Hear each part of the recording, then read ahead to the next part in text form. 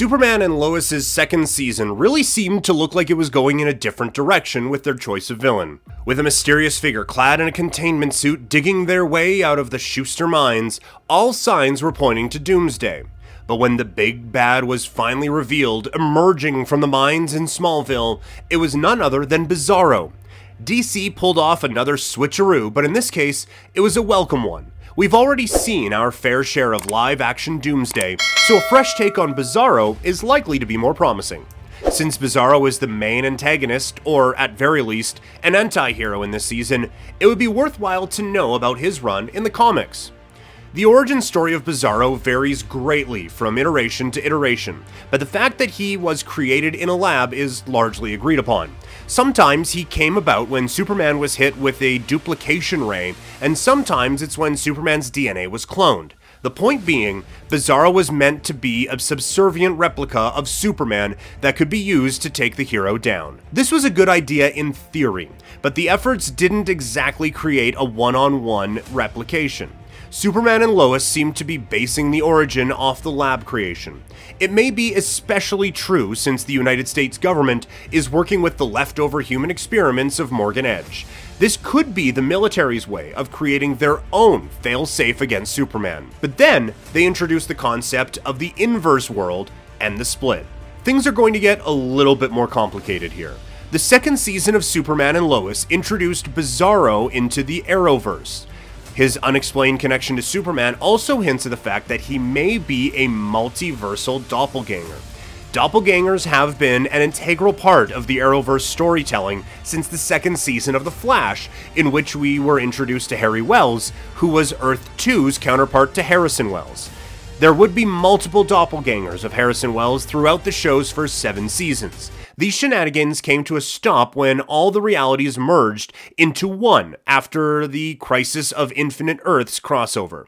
Since then, doppelgangers have become much more rarer because no hero has powers to travel between universes. So, where did Bizarro come from? While Bizarro is yet to be confirmed as a doppelganger, it does seem the most logical explanation for his existence.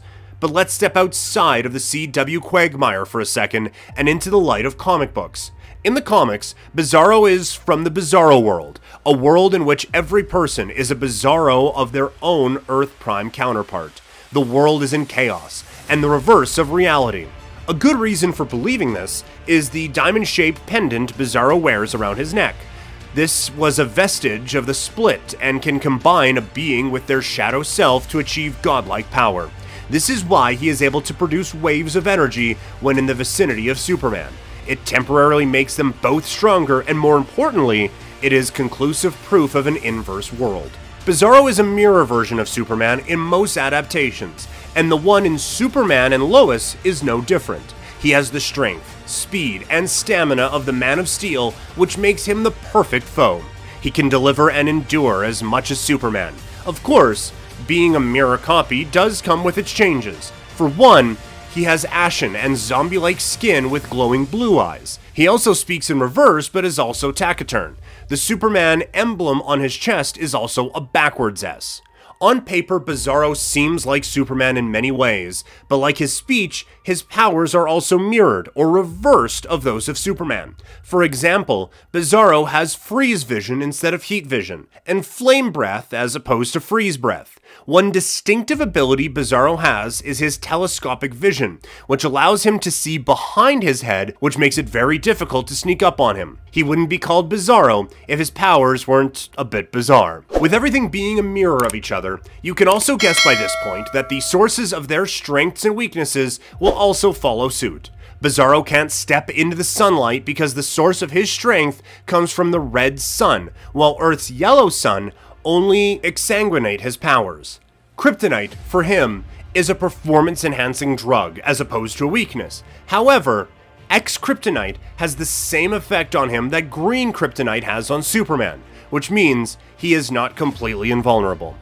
Bizarro is one of DC's strongest villains, but sometimes it's hard to deduce whether he is a villain at all or just oblivious to the true meanings of right and wrong.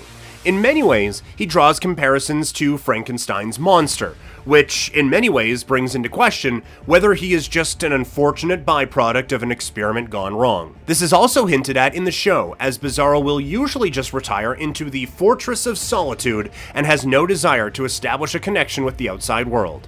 The fifth episode in the show also made it very difficult to establish Bizarro as a real villain when his storyline was intertwined with that of Ally Allston. Also, the way his fight ended with Superman brings into question whether he is really a threat at all. Bizarro was barely able to hurt him. The Man of Steel dodged most of his attacks and retaliated with powerful blows that Bizarro didn't have an answer for. This could all point to Ally Allston being the main antagonist of the season. Where Bizarro lacks brain and brawn, he does have the pendant we talked about earlier.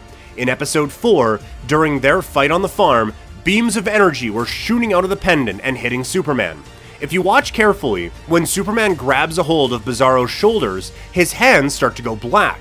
Bizarro continued to hold Superman, and for some reason, Superman couldn't break free until Steel got involved. It could be that the necklace was draining Superman's strength, which could prove to be an important plot device. But what does all of this have to do with Ally Allston? As far as we know, Ally is a threat to Lois, insofar as her career as a journalist is concerned. Lois wants to bring down Ally's cult and prevent it from corrupting Lucy Lane. The pendant could explain how she will become the Arrowverse's Parasite. To become Parasite, all she needs is the pendant. If she got her hands on it, she would be able to draw the power from Clark and other metahumans, giving Superman a real challenge to face. Bizarro's necklace is what binds the entire story together. I guess we'll have to wait and see how it all plays out. That's it for this video, guys. If you enjoyed, be sure to hit that like button and subscribe to the channel for more content like this. And as always, thanks for watching.